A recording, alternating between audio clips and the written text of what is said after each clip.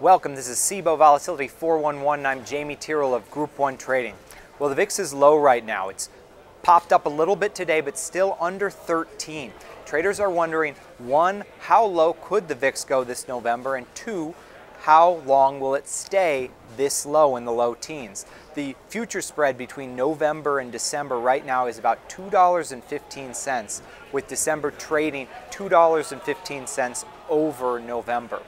One trader put down a big trade betting on the low VIX to settle here in November. They bought the November 14 puts 35,000 times to sell the December 14 half puts 35,000 times. They paid 5 cents on that spread buying the November 14 put. So VIX right now trading very low, but the futures indicate that many traders don't believe it will stay that low through the end of the year.